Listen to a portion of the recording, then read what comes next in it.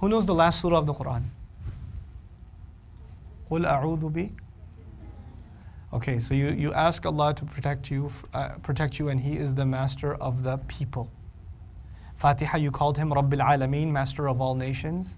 And in Nas, you called him master of all people.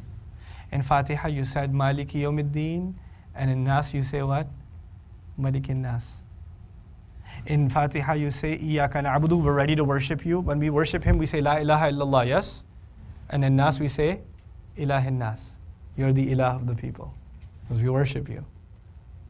In Fatiha, you say, We are ready to worship you, and then we say, Please guide us to the straight path and keep us away from two bad influences. What are the two bad influences?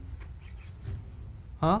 Al Maghdub alayhim and Al You go in Nas and you recite Nas and you say, I don't want I don't want the bad influence that happens inside of me. See the Fatiha's bad influences are outside.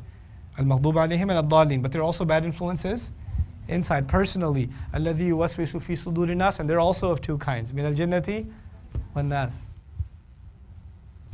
The way Quran begins, it complements the way Quran ends. In Fatiha, in Fatiha, Allah did not tell us to say anything, we said it ourselves. إياك نعبد. Allah did not say قل إياك نعبد. No, you, we said it on our own, but now that you've accepted, now you can be told what to do. In Fatiha, when Nas, what does he say? قل أعوذ برب الناس. Fatiha is all positive. Alhamdulillah, it began with something positive. Well, you need positive, but you also need negative reinforcement. You need to be ready to you know, have a positive relationship with Allah, but in times of trouble, you need to seek refuge with Allah. So the negative is mentioned in Nas. قُلْ أَعُوذُ بِرَبِّ النَّاسِ I seek refuge. What's the master? Subhanallah. Beginning and end of Quran is connected.